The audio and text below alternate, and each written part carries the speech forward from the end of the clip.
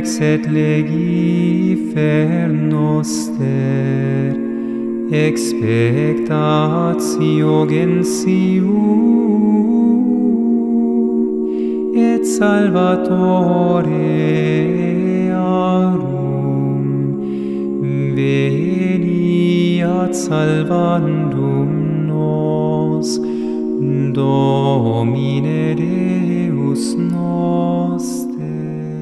Amados irmãos e irmãs, na nossa caminhada rumo ao Natal do Senhor, chegamos hoje ao último dia das antífonas do Ó. Peçamos à Santíssima Virgem, a Nossa Senhora da Expectação, que nos tome pelas mãos e nos conduza em segurança até a casa de Deus. Por isso, rezemos com a Virgem Maria.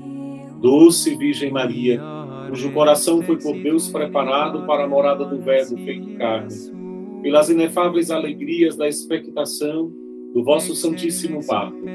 Ensinai-nos as disposições perfeitas de uma íntegra pureza no corpo e na alma, de uma humildade profunda no espírito e no coração, de um ardente e sincero desejo de união com Deus, para que o meigo fruto de vossas benditas entranhas venha nascer misericordiosamente em nossos corações. A eles trazendo a abundância dos dons divinos para a redenção dos nossos pecados, santificação da nossa vida e obtenção de nossa coroa no paraíso, em vossa companhia. Amém. Assim seja. Dizemos, meus irmãos e minhas irmãs, a última antífona do Ó.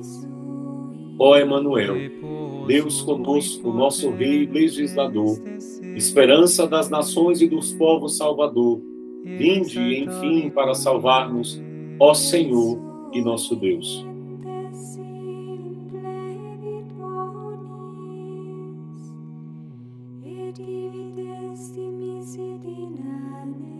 Suscepit Israel puerum sum, recordatus misericordiae sue. Meditemos a antífona que hoje a igreja nos apresenta.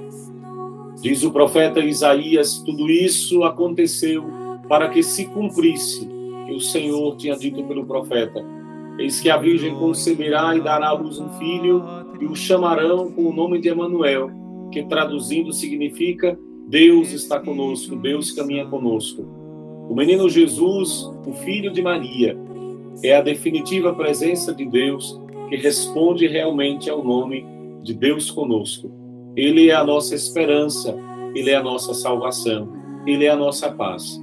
Para concluir esta meditação, preparando-nos para o Natal de nosso Senhor Jesus Cristo, que está aí, próximo de nós, façamos esta oração. Pai Santo, amor, Criador, Senhor da vida, Deus providente e todo-poderoso, desde toda a eternidade quiseste ser a nossa vida e a vida de cada um de nós.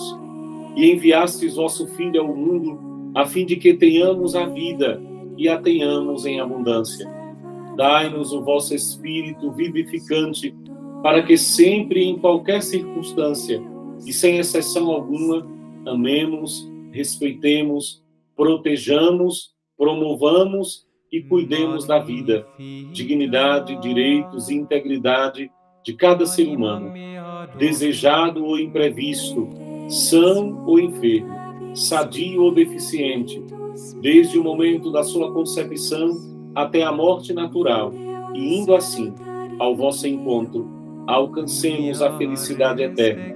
Por nosso Senhor Jesus Cristo, vosso Filho, que é Deus convosco, na unidade do Espírito Santo. Amém.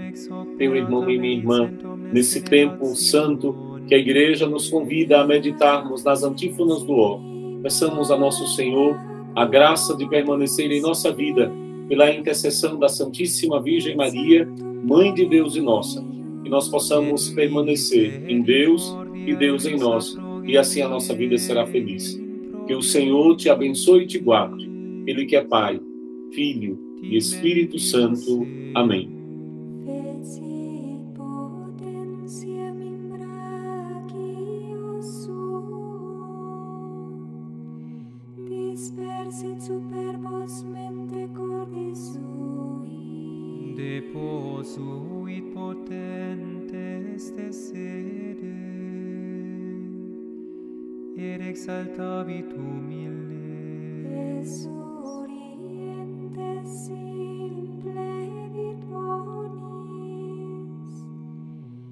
Divide